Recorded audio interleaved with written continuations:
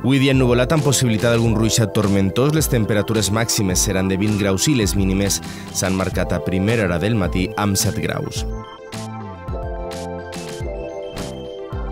Per a demà, jornada similar a l'anterior, les temperatures descendiran diversos graus, tants com que les màximes seran de 15 graus encara que les mínimes pujaran fins als 8.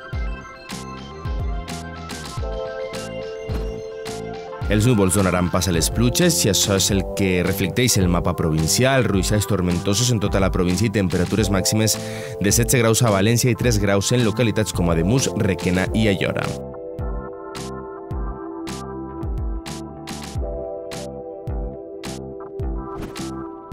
Per al cap de setmana, pluges tant el dissabte com el diumenge que s'intensificaran a l'inici de la setmana que ve. El termòmetre no es mourà dels 14 graus de màxima i els 6 graus de mínima. En quant al risc d'incendis, nivell baix en tota la província, encara que cal cridar al 112 número del Centre d'Emergències de la Generalitat en el cas d'Alvirar Foc.